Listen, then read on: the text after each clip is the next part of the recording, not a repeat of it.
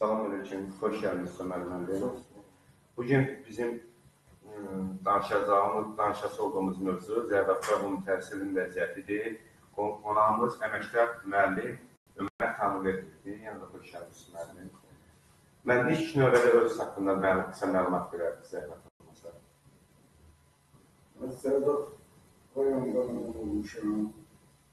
Orta məktəbi işğaldan adına məktəbdə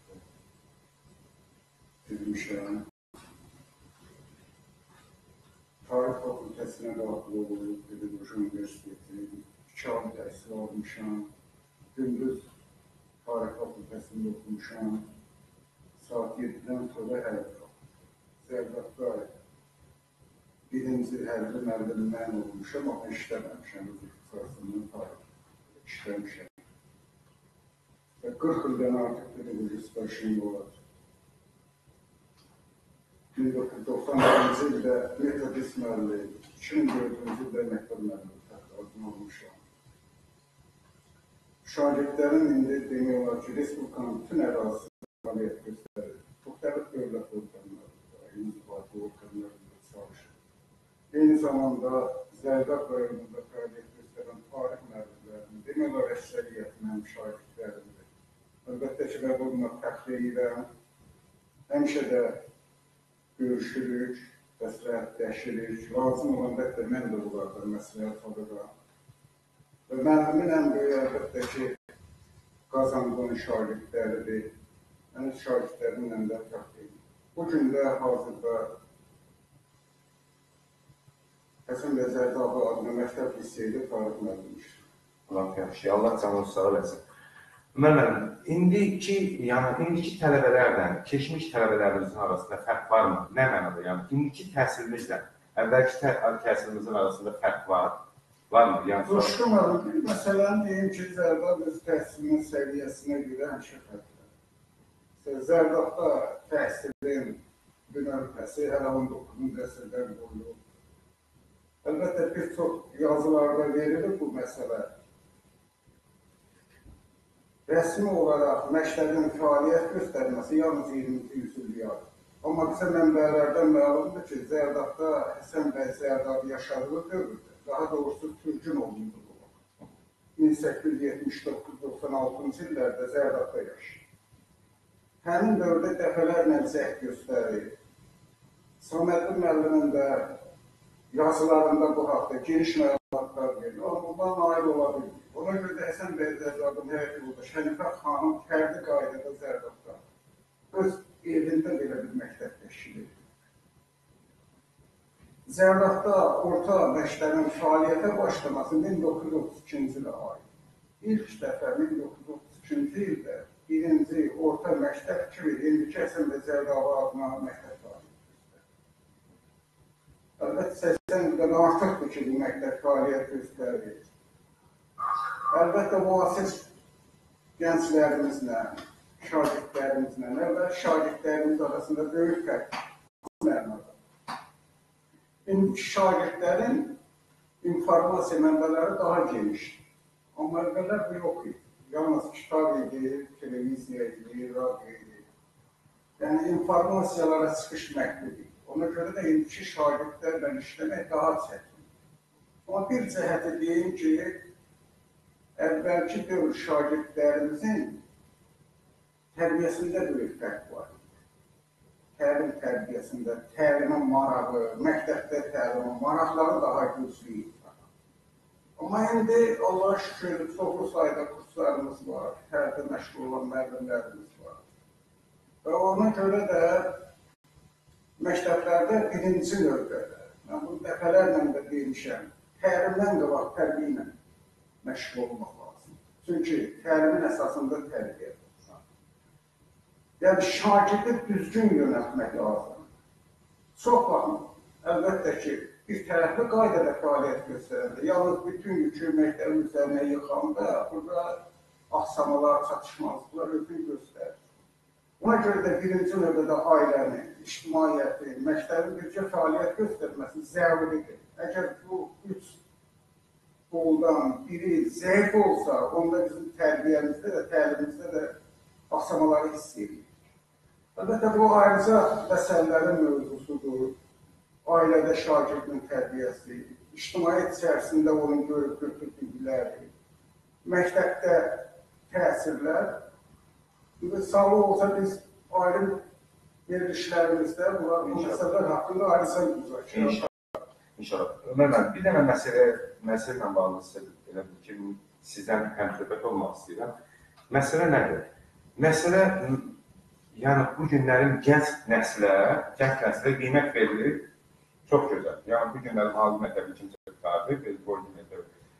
Məsələn, qurtardı, gəldi, rahat imtahan verir və əgər bal toplayırsa, hansısa bir rayonda, hansısa bir kəndə, isə rayonda, sərhəddə, isə qeyri rayonlarda işdən təmin olunur, işləyir, müəllimlikdir.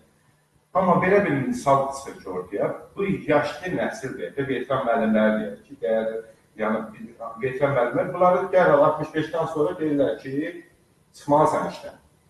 Və müqavilə bağlanıb çıxmalısan işdən. Bilirsiniz, bilirsiniz nə demək istəyirəm, Ömər müəllim? Fikrim cəmaatını çatdırım sizə.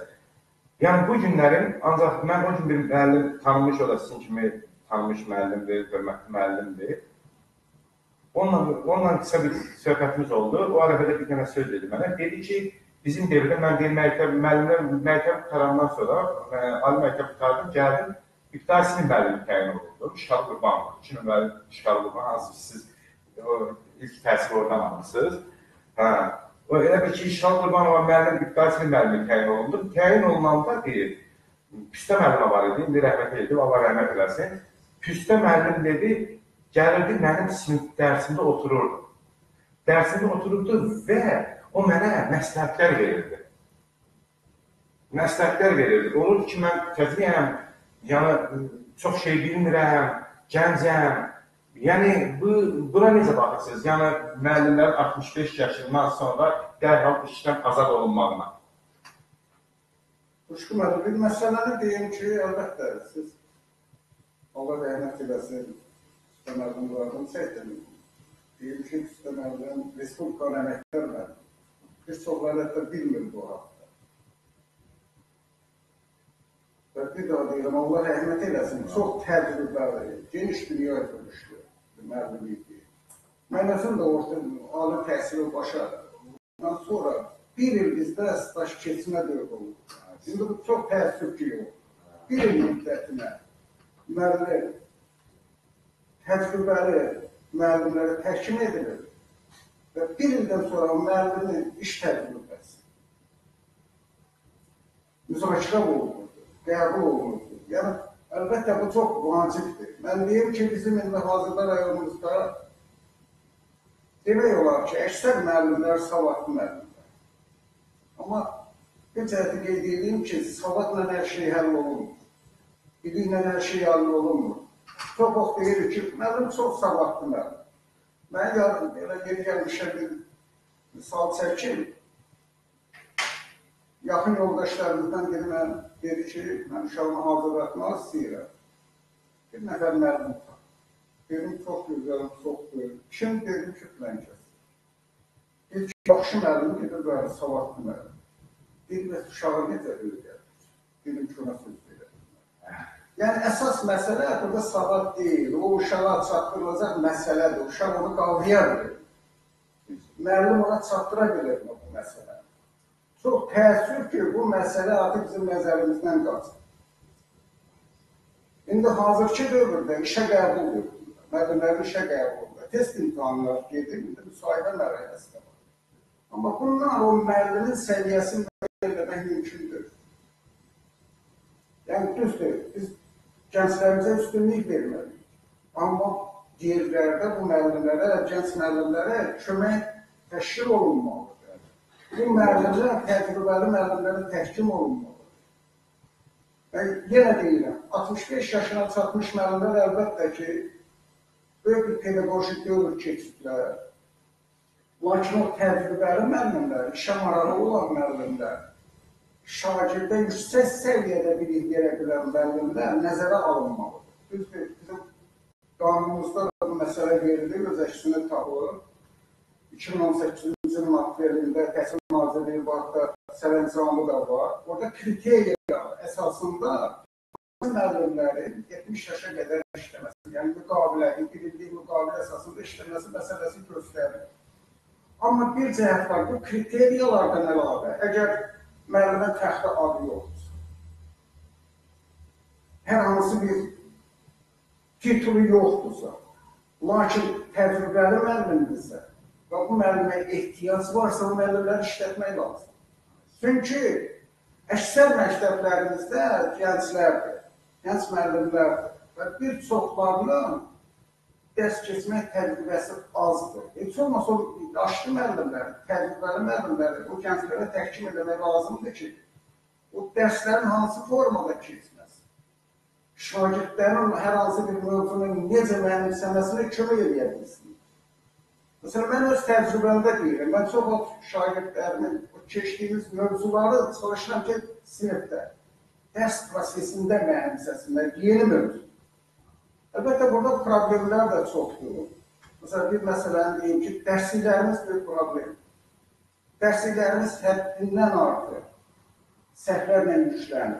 Düzdür, il və il, 5 ildən bir yeni dərsliklər çap olunur, amma indi bu il çıxan dərsliklərimizdə də problemlər var. Deyim ki, əlbəttə, vaxt lazımdır, hər hansı bir o məsələləri biz müzakirə edək, təcrübəli müəllimlərimizi dəvət edək, onlarla müzakirələrdə iştirak edək. Məsələn, mən bir ölkənin təcrübəsini deyim, İngiltərə, Böyük Britaniya.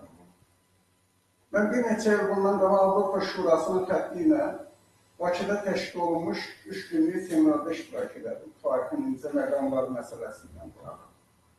Dünyanın müxtəlif ölkələrindən iştirak edirdim. Ötündən İngiltərədə, Şotlandiyada, Macaristanda, müxtəlif Polşada. Orada biz söhbətlərimizin əsasında müəyyən olundu ki, məsələn, İngiltərənin özündə şagirdlər məktəbə kitab aparmır. Mən soruşdum, niyə məktəbə aparmırlar şagird? Çünki mən bir dərsliyi götürdüm, həddindən artıq böyük. Əgər o şagird bir gündə deyək ki, 4 saat, 5 saat dərs keçirsə, o şagirdim onu daşımaq imkanları, fizik cəhətdən məktəb. Onlar dedilər ki, o şagirdlər ona görə aparmır ki. O kitablar məktəbdə qalır. Hər şagirdin adına yazılmış kitablar var, rəhbər var. Orada yerləşdirilir. Sinifdə öyrənir uşaqlar dərsi. Yalnız evdə o mövzu ilə bağlı, məsələ ilə bağlı təkmilləşmələr gedir. Əgər valideyn istəyirsə, əlavə kitab alır, evdə uşaq əlavə vəsaitlərlə məşğul. Əlbəttə, bunun üçün də bizdə texnik imkanlar lazımdır, maddi imkanlar lazımdır. Mən bir cəhət deyim ki, hazırki dövrdə əlbəttə dövlət çox böyük vəsaitlər ayırır, ayrı təhsilə. Lakin bir cəhəti nəzərə almaq lazımdır ki, məktəblər texniki təlim vasitələri ilə təşkil olunmalıdır. Hər bir sinifdə heç olmasa ən azı bir neçə kompüter notebook olmalıdır. Məsələn, bu mövzular əgər biz yüksək səviyyədə şagirdlərə çatdırmaq istəyiriksə, bu vəsaitlərdən istifadə eləməliyik. Demək müəllim, bir dənə mövzuya qayıdım. İzləyicilərimizə bildirmək istəyirəm ki, bu gün yəni yeni qoşulanlara bildirmək istəyirəm ki, bu gün qonağımız əməkdar müəllim Ömər edilibdir. Ömər müəllim, mən bir şey maraqlıdır. Yəni, yəni izləyicilərimiz də bilsin ki, ciddi mövzulara qayıdacaq.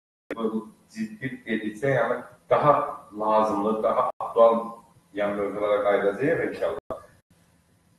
Demək Ömər müəllim, bu günləri mən öz öz üstümə düşəni deyirəm ki, bir valideyn kimi təhsil, yəni mən bu günlərim indi hazırlıq kurslarına daxil, mən çox istəyərdim ki, burada Zərdafda əsasən, əsasən iki hazırlıq kursu var ki, Zərdafda belə bir ki, tanınmış deyəndə yan, yanlarına gedən uşaqlar çoxdur da. Belə biri e, hədəf kursudur, biri Zərdabi yoldur. Ki, tələbələri həddən artıq çoxdur, Zərdabi yolunun daha çoxdur. Bunlar gözəl olsun. Amma bir dənə mövzuya qayıtmalıyıq. Yəni hər ikisinə, hər ikisinin rəhbəri ilə danışmışam. Danışdım. Hər ikisini dəvət elədim ki, belə bir mövzuya toxunacam. Yəni problem yoxdur. Gəlmək istəyirsə gəlin. Yəni hər ikisi boyun qaçıbdır. Gözəl şəkildə boyun qaçıbdır. Yəni gözəl şəkildə boyun qaçıbdılar. Mən həmin mövzunu həmin mövzuya qayıtmaq istəyirəm yenə. Yəni özüm üçün, özüm üçün sual verir, özüm özümə sual verirəm və sizdən də arkadaşlar xahiş edirəm ki, Mənim bu deyəsi olduğuma siz öz bir müəllim kimi, əməkdar müəllim kimi neçə dəfə ki, bu işdə bir peşəkar bir müəllim kimi mənim fikrimə qarşı edilən bir yanaşma, bir fikir bildirərsiniz. Mən bu günlərin uşağım, üzr istəyirəm, yəni övladım bu gün ali məktəbə hazırlaşarsa, mən fərdi müəllim yanına qoyaram, yoxsa hansı bir kursa qoyaram?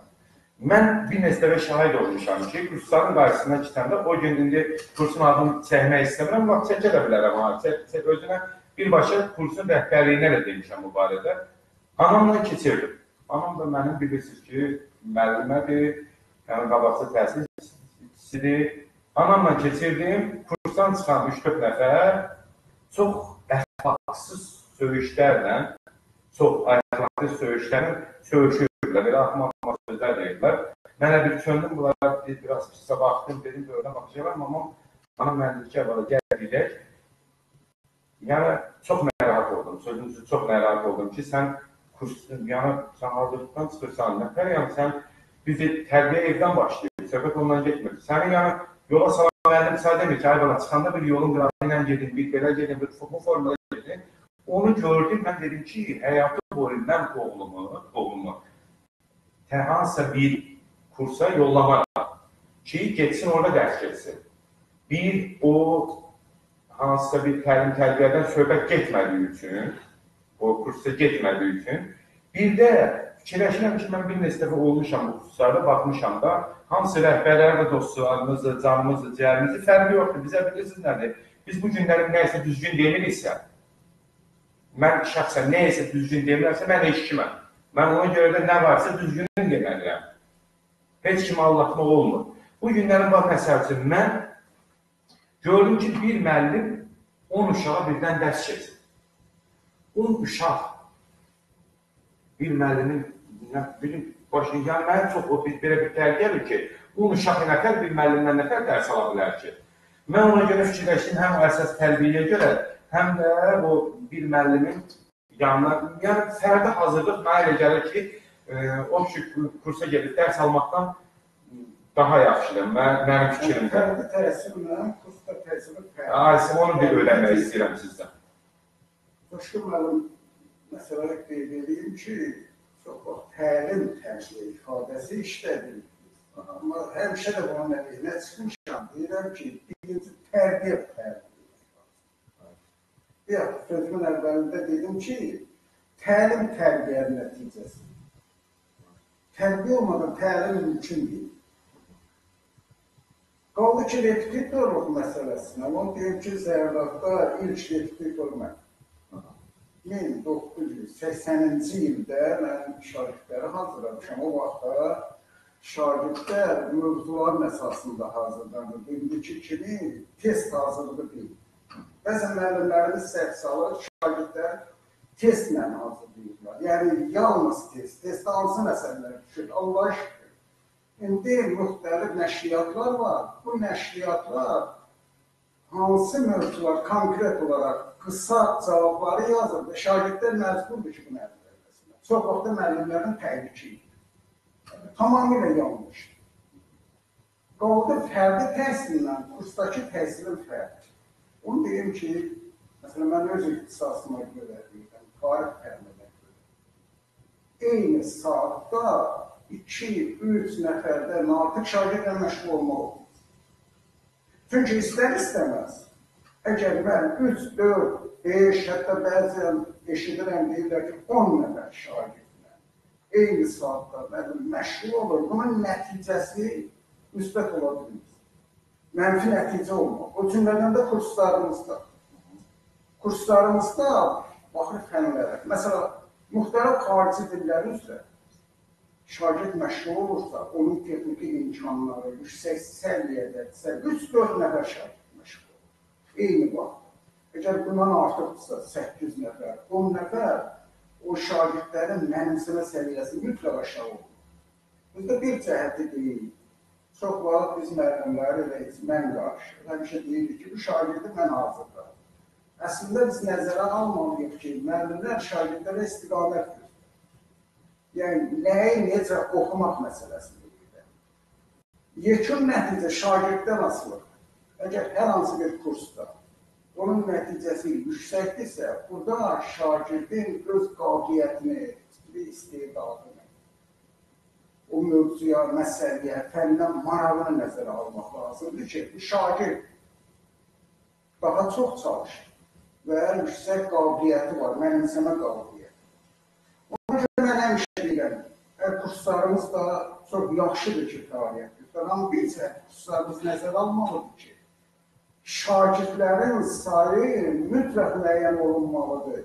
Maksimum 4 nəfərdən artıq şagird eyni saatda məşğul ola bilir. Əgər 4 nəfərdən artı, deyək ki, 10 nəfər şagird məşğul olursa, bax, nəzərə alaq, deyək ki, sinif deyil, sinifdə 20 nəfər şagird var. 20 nəfər şagirdə mən 5 dəqiqə ərzində dərs keçirəm. Əlbəttə, burada elə səviyyədə qurmaq mümkündür ki, bütün şagirdlər amma sinifdəki şagirdlərin hamısı eyni səviyyədə bunu mənimsəyir. Lakin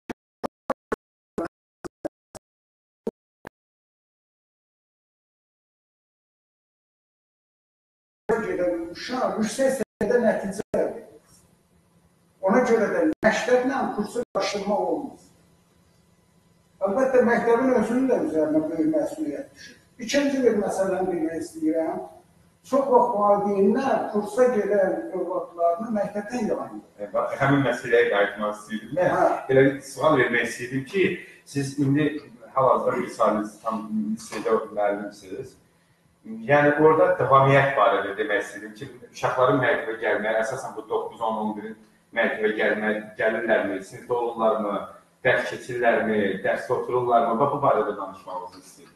Xoşum müəllim, mən həmişə bu tələbi şagirdlərin qarşısında da buyuram. Allaha şükür, məktəbi qutarandan sonra da onun nəticəsini görüb mənə öz təşəkkürlərimi də bildirim. Mənim bax demək istədiyim məsələ odur ki, əgər şagird məktəbdə müəllimin dərsində iştirak etmirsə, kursda o nəticəsi yüksək ola bilməz. Hətta mən bəzən olub belə şagirdlər ki, həm dərs demişəm, mən də valideyn xahiş edirəm ki, bu uşağı hazır.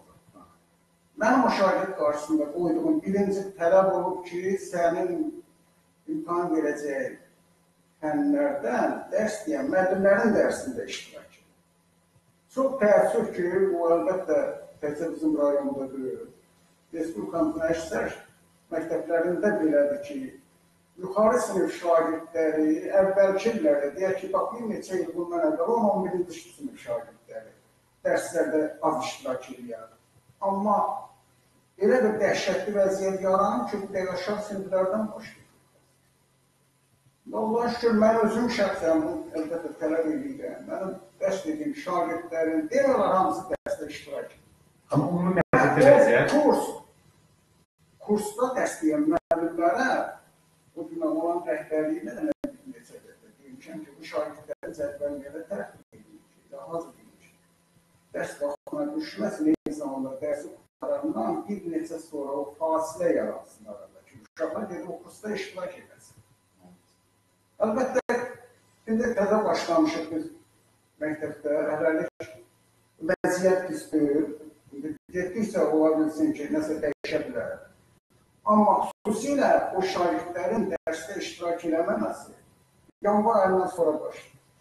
Niyə yanvar ayından sonra başlayır? Çünki qəbul imtahanlarına az vaxt qalır.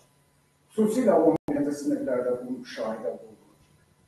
Və çox hallarda bir şagirdlərin dərsdə iştirakı azalır.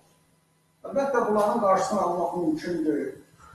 Birinci növbədə şagirdlərin cədvəlinə fikir vermək lazımdır. Kurs müəllimləri, kursun rəhbərləri məktəblərlə əlaqə yaratmalı. Məktəb rəhbərliyi ilə görüşməli. Və məktəb rəhbərləri də kurs rəhbərlərinə öz rəftarın bildirməlidir ki, şagird dərsdə iştirak edəməli. Əlbəttə, mən də valideynlərlə görüşürəm. Çox hallarda deyirlər ki, vəziyyət belədir, uşaq çatdıra bilmir kursla məktəbdəki səviyyə uyğunlaşmır. Amma bunları uyğunlaşdıran əlbəttə cədvəlsiz hazırlığın özü mənfi nəticələr verir. valideynlər nəzərə almalıdır ki, yüksək səviyyəli, intellektual səviyyəsi yüksək olan övladlarını görmək istəyirlərsə, şagird həm dərs prosesində, məktəbdə iştirak etməlidir. Əgər istəyirsə, kursa da göndərməlidir. Amma mənim ümumiyyətcə fikrim budur ki, elə bir şərait yaratmaq mümkündür məktəblərimizdə. Ya dediyim kimi, o imkanlar, texniki imkanları yaratmaq yolu ilə müxtəlif vəsaitlərlə şagirdləri təmin eləmək yolu ilə o şagirdlərimiz heç bir kursa getmədən məktəblərdə hazırlaşsın. Əlavə xərc çəkmək. Bunun üçün də birinci növbədə nə lazımdır? Məktəbin, valideynin əlaqəsi güclənməlidir. Çox təəssüf, çox hallarda aşağı ibtidai siniflərdə valideynlər daha maraqlı olurlar ki, tez-tez gəlsin övladlarını yox etsinlər. Yuxarı siniflərə qalxdıqca bu azalır. Özünün mənfi nəticələrini də göstərir. Demək bir dənə indi siz belə sual deyil bu. Sadəcə olaraq mən birəsi olduğum bir mövzudur. Yəni mən Sizdə problem var mı?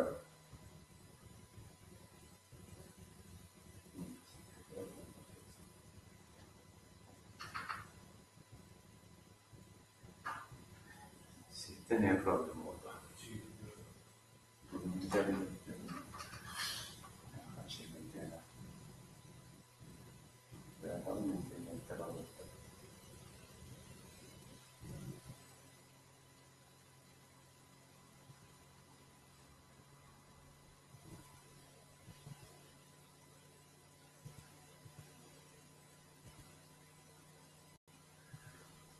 Bizi eşiten var indi.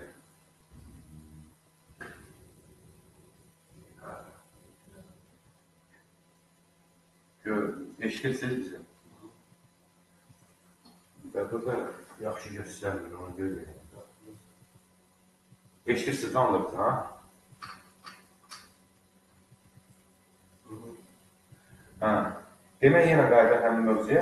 Yəni mən istəsəniz, yəni bu mövzuya fikir bildirə də bilərsiniz. İstəsəniz, yəni mən öz fikrimi bildirəcəm bu, bu, bu mövzu haqqında, yəni bu günün təsirinin hansı, yəni bu gün təsirin səviyyəsinin zəif olmağında bir balanın bir böyük fərqi ondadır ki, mənim bildiyim qədərilə bu günlərin təsirin zəif olmağı, e, yəni hadisə müəllimin zilinə girməyə ilə bağlıdır mən görürəm. Yəni müəllimin zilinə girmək. Mən bilirəm siz məsəl üçün siz əməkdar müəllimsiniz, sizə heç kim onu eləyə bilməz ya da siz sizin cibinizə heç kim girə, girə bilməz. Mən onu bilirəm.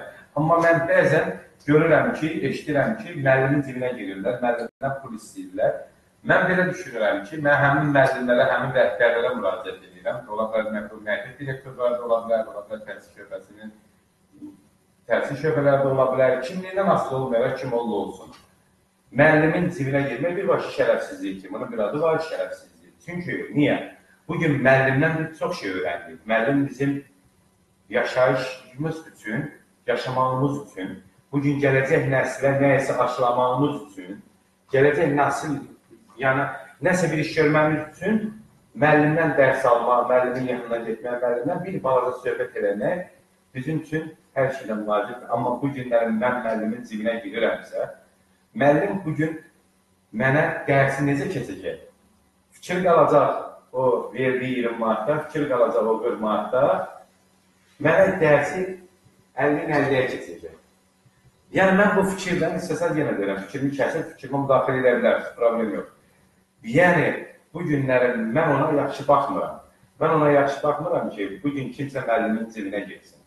Olmaz. Yəni bu gün təhsilimizin səviyyəsinin yüksək olmağını istəyiriksə, əgər bu gün istəyiriksə övladlarımız yaxşı təhsil alsın, əgər bu gün istəyiriksə gələcək nəsil yaxşı inkişaf eləsin, əgər bunu istəyiriksə, biz müəllimlərin cibinə girmək yox, müəllimlərin irəli getmək, müəllimlərin daha əl, əlverişli dərs keçməyi üçün, daha belə savadlı gənclər yetişdirməyi üçün müəllimlərə dəstək olmalıyıq. Müəllimlərə hər sahədə dəstək olmalıyıq. Bildiyimizdən, bilmədiyimizdən müəllimlərə kömək eləməliyik.